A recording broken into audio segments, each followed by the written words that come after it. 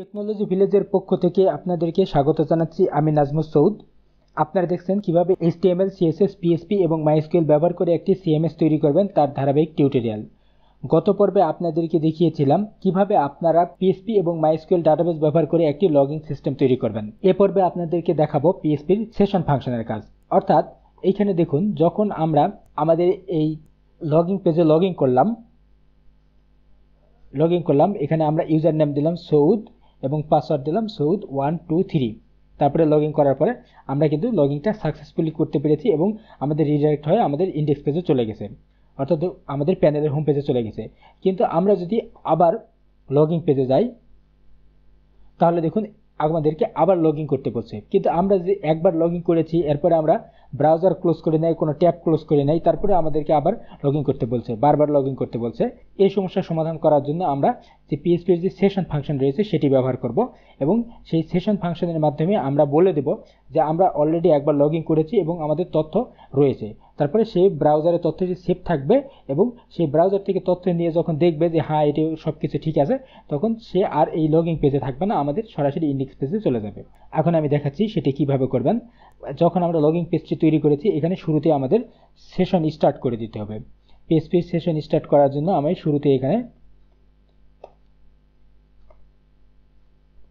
Session start ফাংশনটি দিয়ে দিলাম। অর্থাৎ যখন আমি এই লগিং পেজে প্রবেশ করব, তখন সঙ্গে সঙ্গেই আমার এই সেশনটি স্টার্ট হয়ে যাবে। অর্থাৎ এরপরে এই পেজে প্রবেশ করার পরে সেশন স্টার্ট হয়ে যাবে এবং এরপরে আমরা যত ধরনের কাজ করব, সকল কাজ ব্রাউজারে সেভ থাকবে। এবং সেই ব্রাউজারে সেভকৃত তথ্য থেকেই সে বুঝতে পারবে যে সে লগ ইতিপূর্বে করেছে। তখন সে আর লগ করতে বলবে না। এখন, এইখানে যে আমরা লগিংটা যখন আমাদের সাকসেসফুলি হচ্ছে তখন হেডার ফাংশনের মাধ্যমে রিডাইরেক্ট হচ্ছে। তার আগে আমাদের যে এই, এখানে যে আইডি নাম্বারটি পাচ্ছি, এই আইডি নাম্বারটি ব্রাউজারে সেভ থাকতে হবে। তাহলে সেই আইডি নাম্বারটি দেখে সে বুঝতে পারবে যে অলরেডি লগ করেছে এবং আর লগ করার দরকার নেই। তাহলে প্রথমে আমাদেরকে এই আইডি নাম্বারটি নিতে হবে।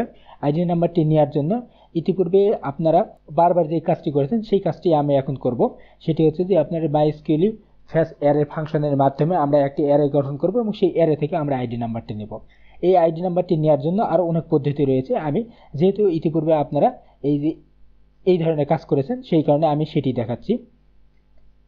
এখানে আমি একটা ডাটা ভেরিয়েবল নিলাম। মাইস্কিউলি ফ্যাস অ্যারে এই ফাংশনের মধ্যে আমরা এখানে কোয়েরি চালিয়েছিলাম যে এসকিউএল কোয়েরি এই মধ্যে আমাদের বিষয়গুলো রয়েছে। আমি সেটি এখানে দিয়ে দিচ্ছি। তারপরে এখানে আমি আইডি জাস্ট ভেরিয়েবল নিলাম এবং এর মধ্যে এই ডাটা ভেরিয়েবলের মধ্যে যে আমাদের আইডিটি রয়েছে, সেই আইডিটি সেখানে স্টোর করলাম। তারপরে এই আইডিটা আমাদের হচ্ছে পিএসপি গ্লোবাল ভেরিয়েবলের মধ্যে পাঠিয়ে দেব। সেটা হচ্ছে সেশন যে ভেরিয়েবল রয়েছে, সেই ভেরিয়েবলের মধ্যে। এখানে সেশন গ্লোবাল ভেরিয়েবলের মধ্যে এখানে আমি বলে দিলাম ইউজার আইডি ইকুয়াল টু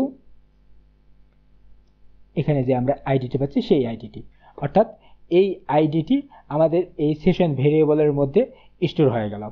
তারপরে আমি এই পেজের শুরুতে আমি বলে দেব যে এই সেশন যে ইউজার আইডিটি যদি এখানে ইমটি হয়, তাহলে সে এই পেজের এই লগইনগুলো করতে বলবে। আর যদি ইমটি না হয়, তাহলে সরাসরি রিডাইরেক্ট হয়ে আমাদের ইন্ডেক্স পেজে চলে যাবে। তাহলে শুরুতে আমি ইফ স্টেটমেন্টের মাধ্যমে এটা বলে দিতে পারি। If dollar underscore ac double s i one session এখানে আমাদের রয়েছে ইউজার আইডি যদি তার আগে আমাদের এখানে ইমটির বিষয়টা বলে দিতে হবে, অর্থাৎ ইমটি ফাংশনটা ব্যবহার করতে হবে।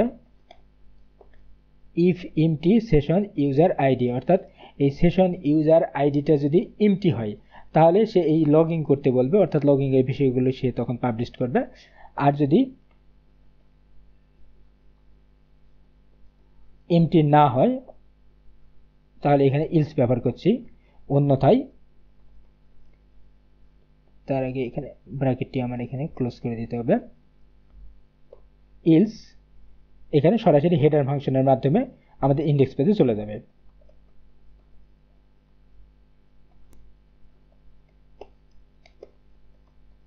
ইন্ডেক্স ডট পিএসপি আমি এটি সেভ দিলাম, তারপরে আমি এখানে রিলোড করলাম, তারপরে আমি এটি লগ করছি। Saud Saud one two three log ইনে ক্লিক করলাম। দেখুন, আমাদের এই যে ইন্ডেক্স পেজে চলে আসছেন তারপরে আমি যদি আবার আমাদের লগ পেজে যাই লগ পেজে যাই, দেখুন এখানে সেই লগইন পেজে আর থাকছে না, আমাদের সরাসরি ইন্ডেক্স পেজে চলে আসছে। এভাবে আমরা যতবার এখানে লগইন পেজে প্রবেশ করতে চাবো ততবার সে আমাদেরকে ইন্ডেক্স পেজে নিয়ে আসবে। কারণ এখানে আমরা সেশনটি স্টার্ট করে দিয়েছি এবং আমাদের হচ্ছে ইউজারের তথ্যগুলো আমাদের ব্রাউজারে সেভ রয়েছে। এ পর্বে আপনারা পিএসপির সেশন ফাংশনের কাজ দেখলেন। পরবর্তী টিউটোরিয়ালে আপনাদেরকে দেখাবো পিএসপির সাহায্যে কীভাবে আপনারা লগ আউট সিস্টেম তৈরি করবেন। আমার টিউটোরিয়ালগুলো যদি আপনাদের ভালো লাগে, তাহলে অবশ্যই লাইক করুন এবং শেয়ার দিন। টিউটোরিয়াল সম্পর্কে আপনাদের কোনো মতামত থাকলে কমেন্ট বক্সে লিখুন। আর আমার চ্যানেলটি যদি আপনাদের ভালো লাগে সাবস্ক্রাইব করুন আপডেট ভিডিওগুলো পেতে বেল বাটন চাপুন। পরবর্তী টিউটোরিয়াল দেখার আমন্ত্রণ জানিয়ে এখানে শেষ করছি। ধন্যবাদ।